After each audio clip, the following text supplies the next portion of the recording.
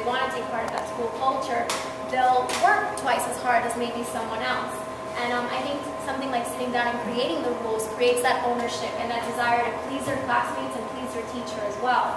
So even a student that maybe isn't performing up to benchmark or up to par is going to want to please the teacher. And it's, it's going to do a lot better than a student who's just kind of left alone on his own island. So I think that the teacher was saying about all of third grade getting together, having a even a class culture, is going to motivate the students to perform.